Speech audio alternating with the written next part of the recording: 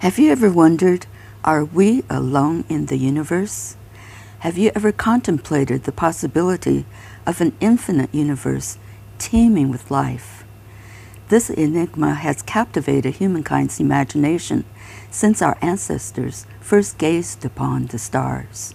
From the ancient Greeks to the modern space age, we continue our cosmic exploration, forever hopeful that ET will be answering our call. Today, we're continuing our search for life beyond Earth, fueled by curiosity and wonder, a search that transcends space and time. I'm Grace Trafton of Cupertino TV Productions. Stay tuned and hear what a SETI scientist has to say in answer to our question Where are the aliens?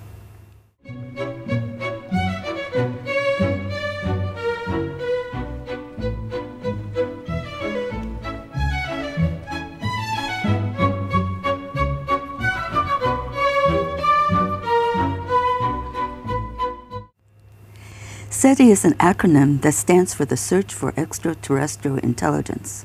This remarkable nonprofit research institute was founded in 1984 and is located in Mountain View, California, in the heart of Silicon Valley.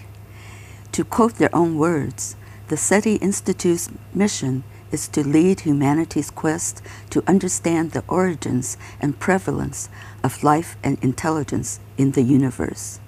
We're very fortunate to have as our guest today Dr. Simon Steel, an astrophysicist who's the deputy director of the Carl Sagan Center for Research at SETI and a science educator and communicator for over 25 years. Welcome to our show, Dr. Steel. Thank you very much. It's a pleasure to be here and to visit our neighbors, Cupertino TV, which is just a few miles down the road from the Institute. Dr. Steel, are there any other research facilities besides SETI that's searching for alien life in the universe? There are, but none that are dedicated um, totally to the search for life, uh, and life in all its forms. Um, the SETI Institute, by the virtue of its name, the Search for Extraterrestrial Intelligence, is how the Institute was founded uh, 40 years ago this year. Um, uh, but it's expanded its search, if you like, to um, take into searching for life in any form in the universe, any uh, life that did not originate on, on Earth itself. Now, there are other uh, centers around the world that are doing SETI science, as we call, looking for uh, signals or evidence of, of alien civilizations. Um, there are some in the United Kingdom, there are some in other countries in Europe and in Australia uh, and in the US. Um, but ours is the only institute just doing that. And ah. so it is unique in that way. It certainly is unique. Now, since Mars is the closest planet to Earth, um, mm -hmm. is that the best place to start our search? Mars is a good place to start. You might as well start next door. And so uh, it's interesting that um, uh, uh, I put up a picture of, of, of two views, uh, two views of, of, of, Mars and Martians. Of course, the, the idea of Mars being populated by intelligent civilizations goes back quite a long way. Um, uh, a famous American uh, astronomer, Percival Lowell, part of the, the Lowell family of Massachusetts, really uh, got excited about the idea of, of, of, life on Mars, and this was back in the 19th century, and built a telescope um, out in Flagstaff, Arizona, uh, called Lowell Observatory. Um, and he thought he identified um, canals on Mars. Oh. Um, and canals, of course, are artificial waterways. Mm -hmm. And, and his theory uh, was that the Martians were taking the water from the ice caps and irrigating the planet. Uh, it turns out not to be the case, um, and modern science, now that we've sent um, uh, landers to Mars, turns out that there are indeed ice caps made of water, mm. but there is no sign of, of intelligent life. Um, of course, Lowell's work uh, inspired H.G. Wells to write War of the Worlds, and in 1898, the Martians came and invaded the Earth, uh, and that was all sorts of problems. In fact, uh, the, the, Martians landed uh, in the book War of the Worlds very close to where I grew up, so, oh. so it's close to my heart, yes. and um, uh, where the Martians came. But of course, the real invaders now are, are the humans invading Mars with, with uh, rovers like Perseverance rover, looking for signs of ancient fossil life. There's no intelligent civilizations on Mars, sadly, uh, but Mars was a very uh, similar planet to the Earth a long time ago. Uh, it's gone through a very different evolution to Earth and has lost a lot of its surface water. But there may be evidence of, of, of early fossil life on Mars, and that's what we're going to be looking for. So we haven't given up on Mars at all. Haven't given up on Mars. I think, um, and of course, a Mars uh, planetary scientist may well argue with me. I, uh, it's pretty sure that there's not much alive on Mars now. Um, so the hope is to find fossil evidence, Fossil. Uh, and that's what the Perseverance rover is doing at the moment. It's collecting samples from a dried riverbed um, or delta, uh, actually, on Mars, and ultimately those samples will be collected and brought back to Earth for analysis. That sounds very exciting. Now, the moons of uh, Jupiter and- and Saturn sound like they're more promising places to search for life. So, what plans are there to explore these bodies? Yes. Uh, now, we are pretty certain you need water for life. Uh, water is an amazing, even though it's so abundant here, we take it for granted. It's such an amazing molecule. Um, and in order to build complex life out of molecules, you need them to be able to move around, and you do that by having those molecules floating around in water. And so, if a planet is dry, you may well have all these lovely organic molecules, but they're just going to sit there and do nothing. So, so the idea is water is very, very essential uh, for life. And so, what should you do? You should look for worlds that have water. Water. Um, Mars used to have water, and that's why it's good to go back and look. Uh, Venus has no water whatsoever. Neither does Mercury. Neither does Jupiter or Saturn. They're big balls of hydrogen. But the moons of Jupiter and Saturn are worlds roughly the size of our own moon. And they are icy worlds. They've got an icy crust, but beneath the surface, they have warm oceans, which is quite amazing. They're still warm? They are still warm. Um, and it's interesting that they get warm or they keep warm because of gravity. The gravity of these giant planets and the moons and their, the sister moons going around the planets stretch and squeeze uh, the moons like rubber balls. And that heats them up. And it melts the ice. And so you have warm oceans. Wow. Even though you're so far away from the sun. There are two moons, especially, that are very, very exciting. And I put up a picture of Enceladus, which is a very small moon of Saturn. But it has an icy crust, and just beneath it is this warm ocean. And in this glorious image from uh, Cassini uh, spacecraft, you can see these jets of water being shot out of cracks in the surface, which is very exciting. Oh, my goodness. And so there's a chance of actually looking at the chemistry of these oceans uh, underneath the surface of, of Enceladus. Moving closer to Jupiter, Jupiter has a moon called Europa, which is the same thing. It's about the size of our moon, but it has uh, more water than there is water on Earth. oh, my goodness. It has this gigantic ocean. Uh, we don't know anything about it, but in October of this year, um, a spacecraft called Europa Clipper is going to start its journey out to Jupiter and we'll do an analysis of the surface and the ice and the chemistry of Europa. Uh, it's not going to get, get there until the 2030s, so uh, it's a long way out. It's a good long journey ahead, Right, right. but it will get there. Um, and SETI Institute scientists are involved in the Europa Clipper mission, which is Oh. very exciting. that must be exciting. What they're also involved in is not only the mission itself, but also to make sure that Europa Clipper is clean. Um, there are types of life on the Earth that's very, very resilient to bad conditions. Um, and you could send a spacecraft all the way to Mars or all the way to Jupiter, and there'd still be Earth microbes alive. And what you don't want to do is send your spacecraft to a place that you're looking for alien life, taking your own life with it. Taking your own Because life. then all you're going to discover is stuff you brought with you. Right. And so the concept of keeping these spacecraft pristine is a, a, a science called planetary protection. You are protecting the life of other worlds from human microbes and also protecting the Earth from alien microbes Mm-hmm. when you bring samples back. And that's a very, very important part of, of exploration that you do not mess up the life that you're going to. Um, and uh, the SETI Institute is involved in this idea of planetary protection as well. Now, how about way beyond our solar system? Where and how do we go about looking for life? It's such a big space out there. Um, the sun is, is a star. It's our only star. It has its planets going around it. But the sun is also um, a, a constituent of a galaxy. We call it the Milky Way. Um, the Milky Way has 300 billion stars. in it, 300 billion. Which is a number that is just ridiculously large. It It's, is. um, Hard to comprehend. Hard to comprehend. You imagine every grain of sand on, on the beaches of Right, Earth, and you've right. got big, big numbers. There are a lot of stars out there. If you look up in the night sky and you're lucky that the sky is dark, you see the Milky Way as this band across uh, the sky, and that's the galaxy we are living in.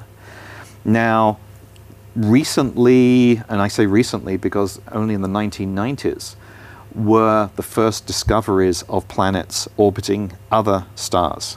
We suspected that there were planets orbiting other stars, but no evidence was there. But the technology, astronomy is a very technology driven science. When the technology was there to look at stars in the galaxy, um, there was an ability to start detecting planets orbiting those stars. Hmm. And it turns out that there are probably planets orbiting every star in our galaxy. Hmm. Pretty much. There's a few exceptions.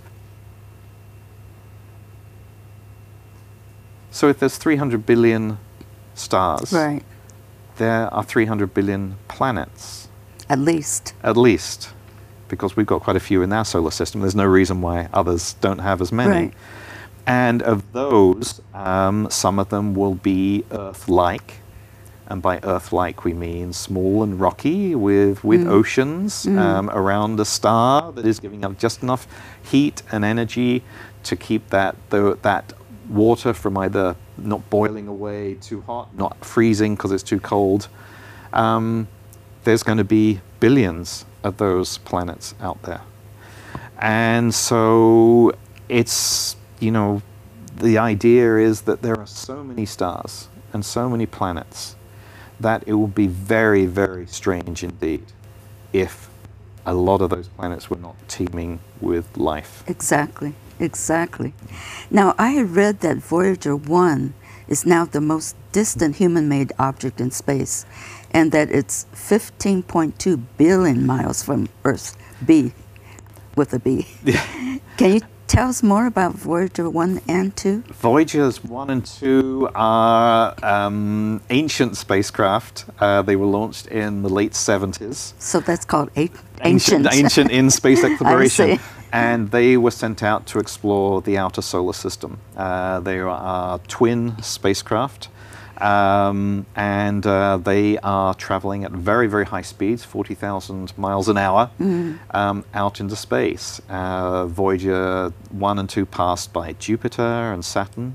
Voyager 2 uh, sailed past Uranus in the late 80s, and then Neptune um, in, I think, 89, 90. Don't quote me on that. Um, and then out uh, into deep space.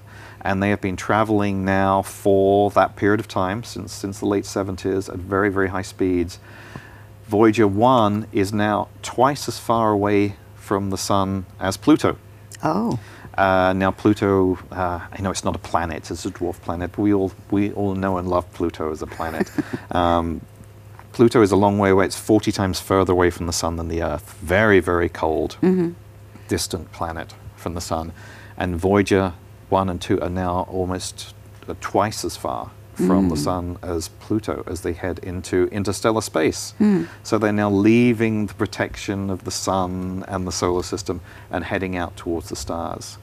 Um, there's a couple of things very interestingly. Um, if they happen to be heading in the direction of the closest star, which we know is called Proxima Centauri, it would still take Voyager about 15,000 years oh, to get to the closest star. oh. goodness. It's a big, big distance. The Yes. distance between stars is immense, and uh, that's that's perhaps food for thought in whether aliens, even from the closest star, and we know Proxima Centauri has its own planets, Mm-hmm. to travel at very high speeds um, to Earth. 10,000 years is a long, long time for a space mission. Now, Yes. maybe they've got higher technology. Um, we don't know if, if warp drive exists. Right. We like to think so because it Right. makes TV shows easier. Um, nevertheless, the technology to get between stars is incredibly difficult, and that is another argument to say let's look out to where they are Yes. and not wait for them to come to us. Right, right. Yeah. Carl Sagan and Frank Drake, Frank Drake was one of the, the founders of the Institute, decided they would put a message on these spacecraft.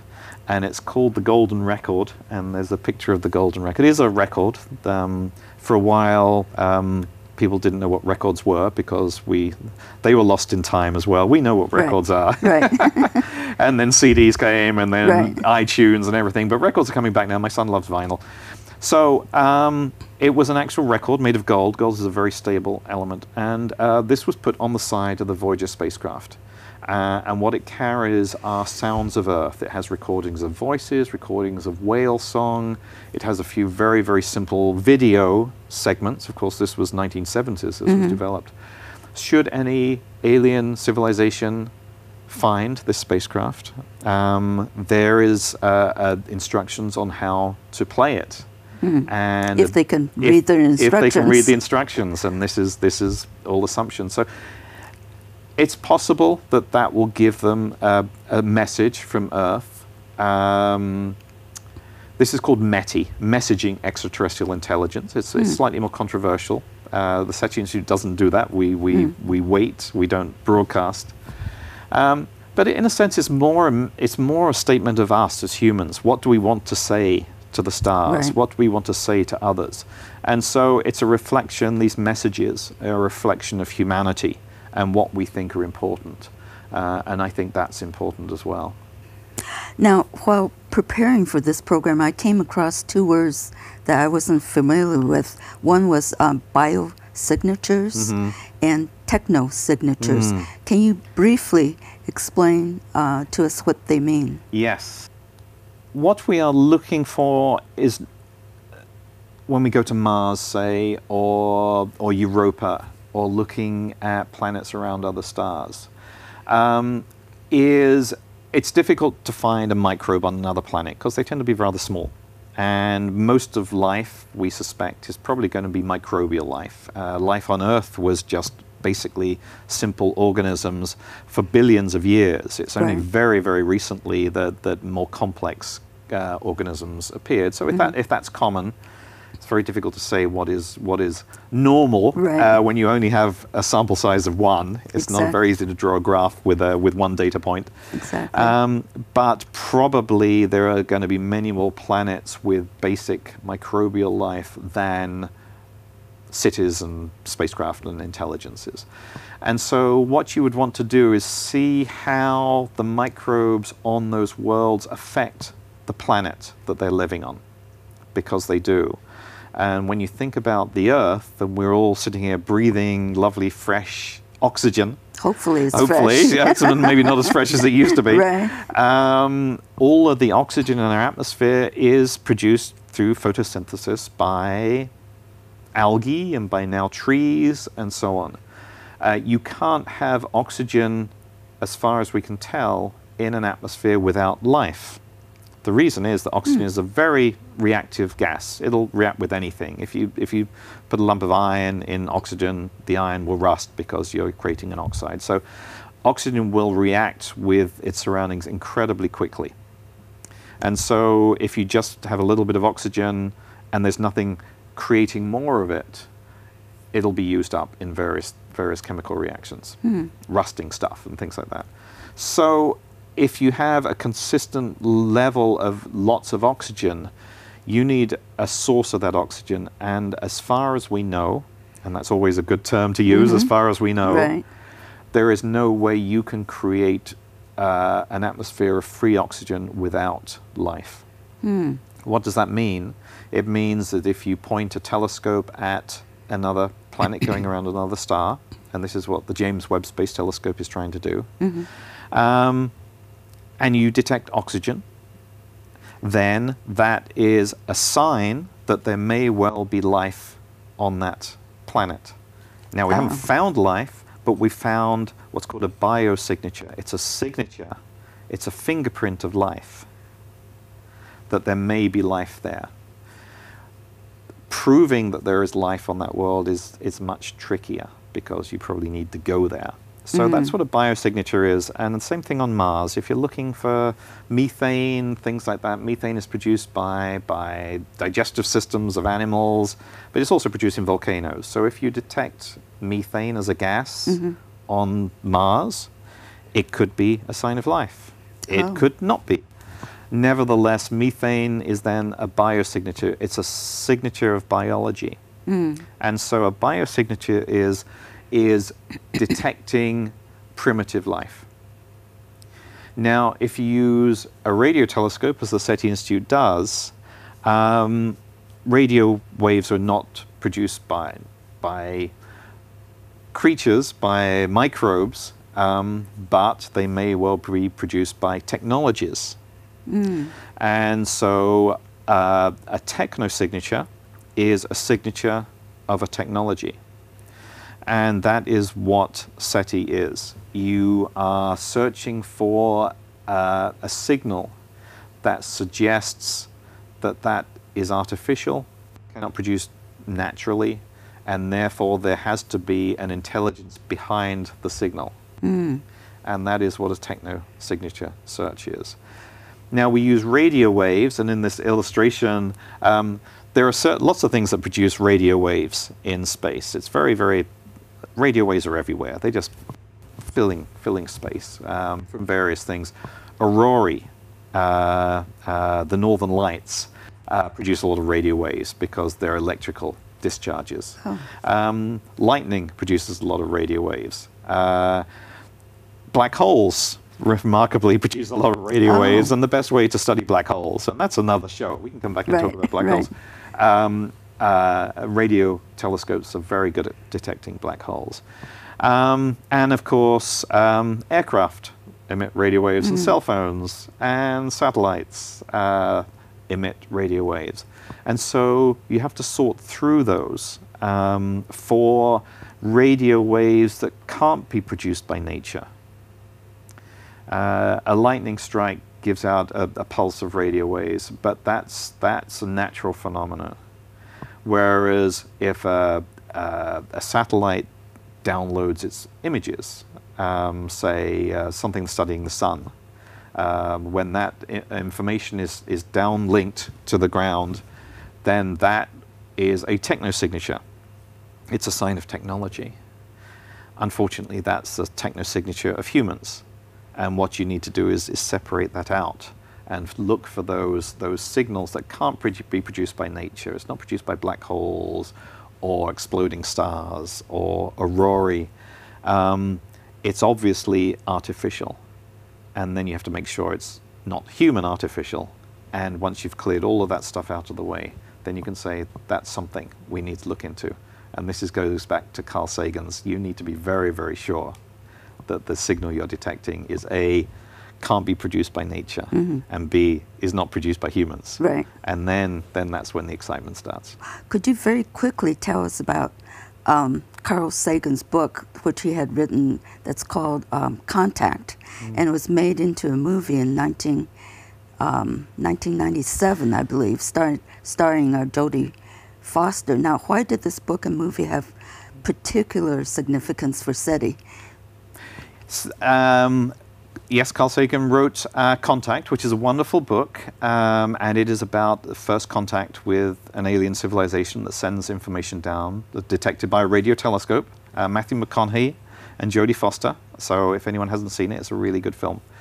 Um, the first half of the book is actually quite accurate in how uh, humans would detect and try and decipher a signal. Uh, the second half of the book, of course, is, is going into, into hopes and fantasies. Um, what's very interesting, of course, is because of Carl Sagan's connection with the Institute, um, he based the main character, Jodie Foster's character, Ellie Arroway, on a friend and colleague, Jill Tarter, who is a SETI Institute astronomer. Oh, my goodness. Jill has retired now. Uh, she's um, on our board of trustees and is a, a very valued advisor. Uh, but she was the model for the character in the film. Oh. Um, and uh, again, if you see the movie, it features a couple of very important radio telescopes that are real radio telescopes. Uh, one's called the Very Large Array, not a very uh, a clever name, but it's, Yes. it's a very large and it's array, meaning there's lots of lots of telescopes joined Mm-hmm. together to work in unison. And there's a picture there on the, on the screen of the VLA, and that's in New Mexico. Mm. And we are still using that telescope um, to detect technosignatures. Uh, and the other telescope they use is called the Arecibo Observatory. Uh, the Arecibo Observatory is in Puerto Rico uh, and was uh, one of the, the best telescopes in the world, not only to receive signals, but it also had the capability to transmit signals. Uh, sadly, due to very bad weather, um, a hurricane passing over Puerto Rico, the, that telescope was uh, damaged beyond repair um, a couple of years ago. And so we have lost an iconic, uh, not a movie star, um, but also the, one of the best radio telescopes in the world. Oh. And there are, there are hopes and plans to rebuild it. Just want to ask you very quickly a last question. Do, do you think that we can ever decipher a message from a space alien? That is, a, that is the big question. Uh, we don't know if we will ever decipher a message from aliens. Um, and the best we can possibly hope for is to recognize that it is a message. That when we get a signal, we confirm that it's artificial, that it's not human, it wasn't by one of the Starlink satellites, you know, by mistake we then have to look at patterns in that signal. And if there's a pattern rather than just beep, beep, beep, then that pattern we had the ability to recognize as syntax, as, as, as language. Mm-hmm. May never, as we say, be able to decipher what they say, but we know that they are saying something. Something. And that means that there are other intelligences out there. Not too different from us, maybe physically, maybe they look like octopuses, but the basic ideas and concepts we share. We share an ability to communicate, we share the, the, the passion to communicate. Um, and that means that we, we're not alone in the universe. Thank you so much for being with us today, Dr. Steel. This is a wonderful, fascinating topic, and we will continue. Thank you. I have enjoyed myself and we will be back. The question remains Are we alone in the universe? Or are we part of a cosmos teeming with diverse life forms? Another question also remains Why has humankind been searching the skies since the very beginning? Perhaps it has something to do with the search for understanding of our own existence and our own purpose. A British physicist, Professor Brian Cox, has said, When we look into space, we're looking into our own origins because we are truly children of the stars. Our many thanks to Dr. Simon Steel and to the SETI Institute for pursuing this never ending enigma. The search continues. Thank you for being with us today, and see you next time. Bye bye.